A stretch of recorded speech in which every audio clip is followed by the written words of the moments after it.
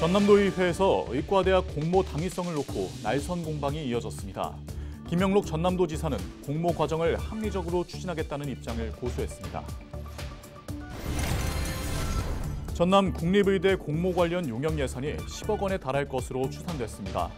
전남도는 본 예산, 예비비 등에서 확보할 방침입니다. 전남도가 기업 투자를 잇따라 유치한 반면 실적은 저조한 것으로 드러났습니다. 각종 협약 체결에 문제점이 제기되면서 이에 대한 지적이 잇따랐습니다. 일자리가 없어 어려움을 겪고 있는 중년들을 위해 지원책 마련이 필요하다는 목소리가 나오고 있습니다.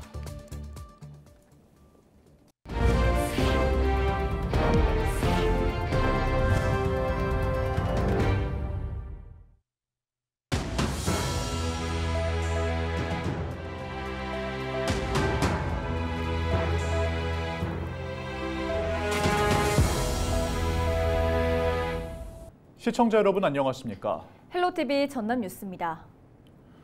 전남도가 오는 23일부터 전남 단일의대 선정을 위한 공모 용역을 추진 계획하고 있습니다. 이런 가운데 21일 열린 도정 질문에서는 전남 의대 공모의 당위성을 놓고 날선 공방이 이어졌습니다. 보도에 서경 기자입니다.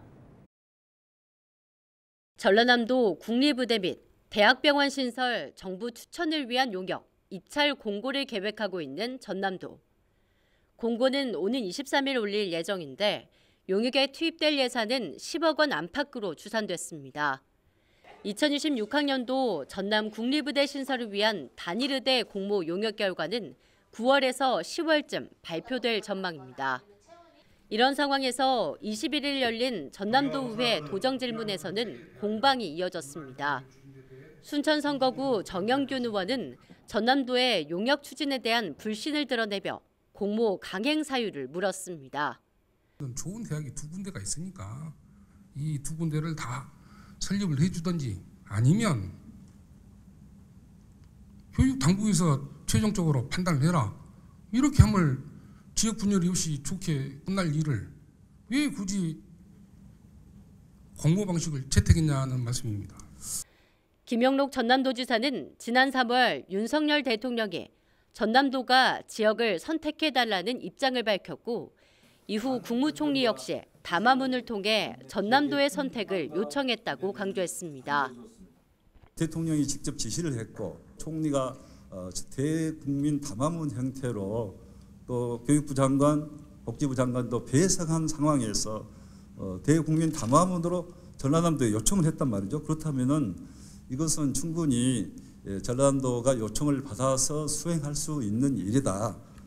정 의원은 고등교육법상 의대 설립 권한은 교육부에 있는 만큼 전남도가 용역을 통해 대학 한 곳을 추천하더라도 당위성과 법적 근거가 부족하다고 응수했습니다. 전남도가 목포대와 순천대를 각각 지원해서 두 대학이 역량껏 경쟁하고 교육부의 판단에 따라 결정되는 게 합리적이라고 주장했습니다. 유치를 희망하는 대학에 지원만 해주면 되는 겁니다.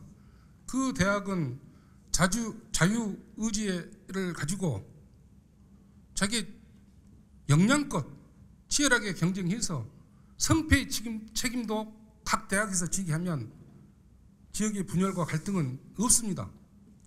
왜 전라남도가 법적 권한도 없으면서 불법적으로 완장을 차고 전남도는 교육부 역시 두 대학 중 한 대학을 꼽는 것에 대한 큰 부담을 가지고 있다고 설명했습니다. 의대 정원 확대 논의가 급물살을 타고 있는 상황에서 교육부에 공모를 맡겨놓더라도 전남도만큼 의지를 가지고 속도를 내겠느냐고 되물었습니다. 오히려 교육부가 수용할 수도 없을 뿐더러 수용하더라도 우리처럼 그렇게 빨리빨리 할 수 있겠느냐 그런 측면에서는 저는 걱정이 많아서 전라남 도지사로서는 정부가 전라남 도지사에게 요청을 했기 때문에 그 요청에 의해서 정당한 적법 타당한 요청이기 때문에 모든 어, 공정하게 하면서 모든 책임과 의무를 다해서 이것을 수행하는 것이 마땅하다 생각하고 이어 정 의원은 단일의대 공모에서 탈락한 지역을 감당할 수 있겠냐며 전남도의 대책을 질의했고 전남도는 자신감을 드러냈습니다. 미선정된 지역에 대학의 원성을 감당하실 수 있겠습니까? 그 책임지실 수 있을 것 같아요? 저 교육부나 중앙에서 하면은 대학만 선정하고 말지 보완 대책을 제대로 해주겠습니까? 그렇지만 전라남도는 이 어려운 짐을 맡아서 어렵지만은 어, 선택할 수밖에 없다면 선택을 하고 만약에 안 되는 지역에서는 거기에 상응하는 어, 보완 대책과 보건 의료 대책을 마련하도록 하겠다. 그러면 동북권 의대 설립 관계자들의 회동 불참 선언 등 논란이 계속되고 있는 전남도 단일의대 공모. 오는 23일 용역이 공고될 예정인 가운데 동북권 도의원과 도지사의 입장은 마지막까지 평행선을 그렸습니다. 헬로티비 뉴스 서경입니다. 지방자치단체는 각종 사업을 추진하기 앞서 해당 기관이나 기업과 업무 협약을 맺습니다. 투자를 유치하고 행정 절차를 협조한다는 취지인데요. 그런데 전남도가 유치한 투자 실적이 저조할 뿐더러 협약 체결 전 검토와 사후 관리가 부실한 것으로 드러나면서 이에 대한 지적이 이어졌습니다. 보도에 송하영 기자입니다.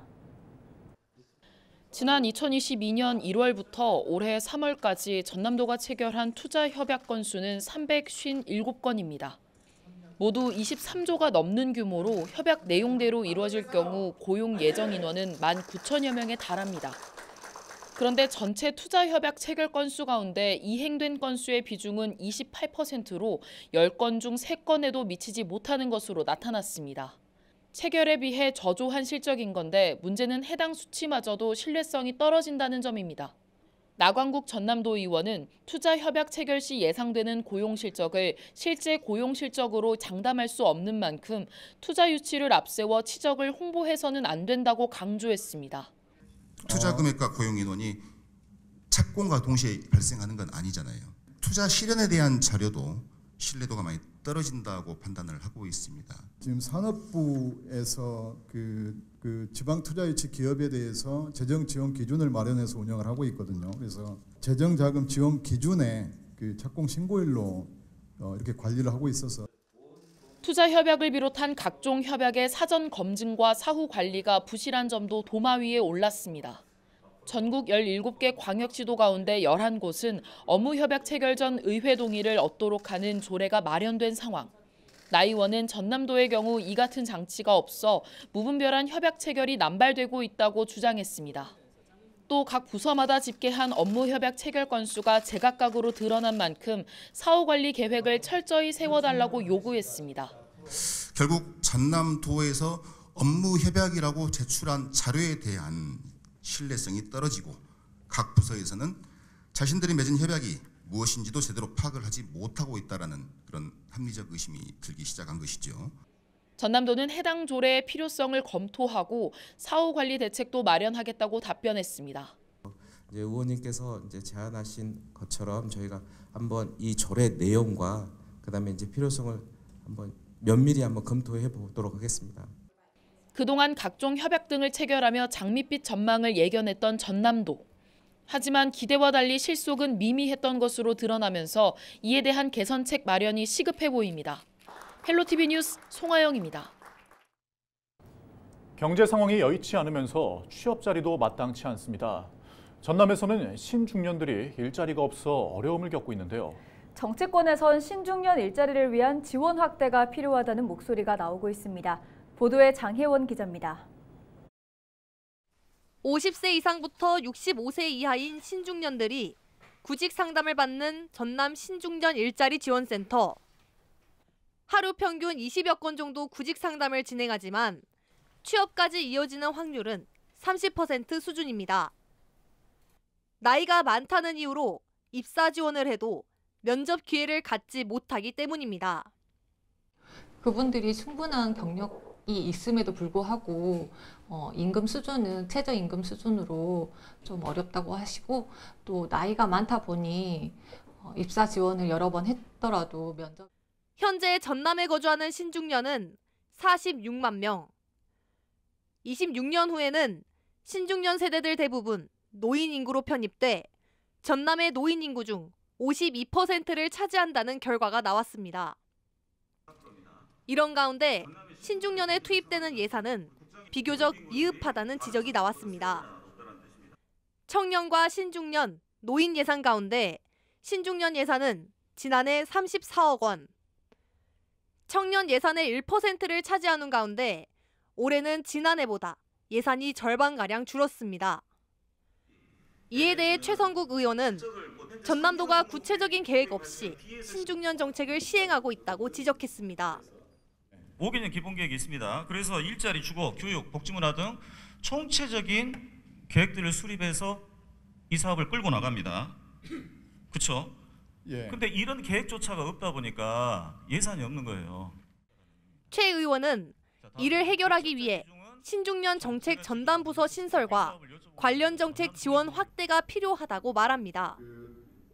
일단 신중년 정책을 컨트롤할 수 있는 전담 부서가 지금 없습니다. 전담 부서의 설립이 시급하고요.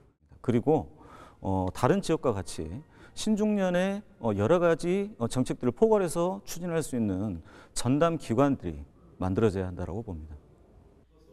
전남도는 신중년들을 위한 체계적인 대책을 수립하겠다고 밝혔습니다. 단순히 일자리만이 아닌 직업과 금융교육 등 관련 사업이 효율적으로 추진될 수 있도록 노력하겠다고 덧붙였습니다. 신중년들의 그 어려움, 어, 애환 이런 부분은 필요 별도 필요한 상담이랄지 또 안내랄지 이런 부분은 필요하다고 봅니다. 그래서 그런 면에서 앞으로 우리 전라남도가 우리 의원님이 말씀하신 그런 취지에 대해서 좀 더 최 의원이 도정 질의에서 신중년 일자리 대책을 제안한 가운데 전남도에서는 이를 어떻게 반영할지 관심이 모아지고 있습니다. 헬로티비 뉴스 장혜원입니다. 전남도 의회가 정부의 전라남도 국립의과대학 신설 정원 방침 결정을 건의했습니다. 전남도 의회는 전국에서 유일하게 의대가 없는 전남권의 의대 설립을 위해 정부가 이달 안에 확정할 대학 입학 전형 시행 계획에 2026학년도 전남 국립의대 신설 정원 200명 방침을 반영해 발표해 달라고 요청했습니다. 의회는 전남도의 국립의대 공모 용역 추진에 대해 지역 내 의료 체계 완결성 구축과 도민 건강권 확보, 지역 상생 발전 도모 등 모든 과정을 합리적이고 공정하게 추진해야 한다고 밝혔습니다. 전남 국립의과대학 공모 관련 용역 예산이 10억 원에 달할 것으로 추산됐습니다.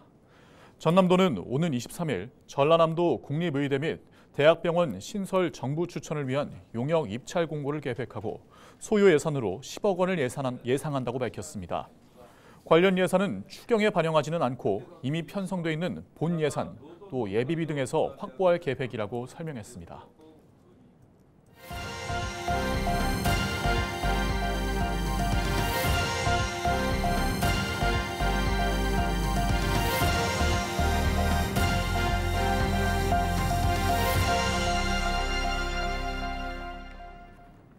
민선 8기가 오는 7월 반환점을 앞둔 가운데 목포시의 공약 사업 이행률이 35%에 이르는 것으로 나타났습니다.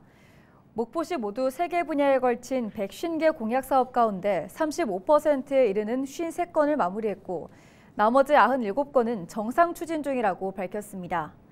목포시는 해상풍력 융복합 산업화 플랫폼 구축, 친환경 선박산업단지와 청년쉼터 조성, 산단근로자 복합문화센터 구축, 휴일 긴급 돌봄 어린이집 운영, 명품 가로수길 조성 등 현재 추진하고 있는 공약 사업을 임기 안에 마무리할 수 있도록 노력하겠다고 밝혔습니다. 국립목포대 의대 유치 방안을 논의하기 위한 자리가 마련됐습니다. 21일 목포대 남학캠퍼스에서 한국일보 주최로 열린 이번 토론회에선 의대 유치의 필요성과 완결적인 지역 보건의료 체계 구축, 지역 균형 발전에 기여하는 국립의대의 역할에 대한 강연에 이어 전남 서부권 국립의대 유치 방안을 놓고 열띤 토론이 펼쳐졌습니다. 한국일보는 지역경제 활성화와 균형 발전 방안을 모색하기 위해 주요 현안을 놓고 미지답 포럼을 운영하고 있습니다. 전남 완도에서 축사 지붕을 수리하던 50대 외국인 남성이 추락해 크게 다쳤습니다. 카자흐스탄 국적 50대 남성 A씨는 지난 20일 오후 4시 50분쯤 완도군 고급면에 있는 축사에서 지붕을 수리하다가 5m 아래로 떨어져 머리를 다쳤고 닥터 헬기에 의해 병원으로 이송됐습니다. 이상으로 뉴스를 마칩니다. 함께해 주신 여러분 고맙습니다.